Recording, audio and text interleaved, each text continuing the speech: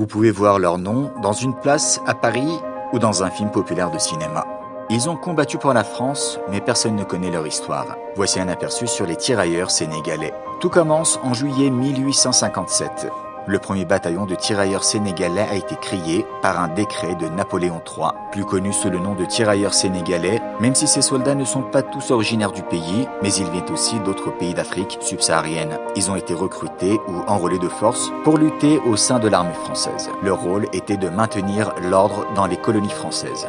Cependant, les tirailleurs ont participé à toutes les campagnes coloniales de la France jusqu'à la suppression de ce corps militaire dans les années 1960. Ils étaient environ 200 000 lors de la Première Guerre mondiale, 30 000 y ont perdu la vie et 140 000 en 1939-1945 à combattre dans l'armée française pour libérer la France de l'occupation nazie.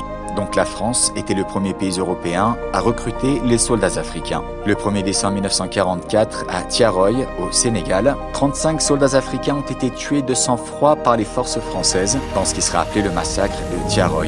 Ils demandaient l'égalité de salaire avec les soldats blancs, mais l'armée française a riposté en ouvrant le feu sur eux. Par la suite, certains étaient également mobilisés lors des guerres d'Indochine et d'Algérie. Leur bataillon a été dissous entre 1960 et 1962.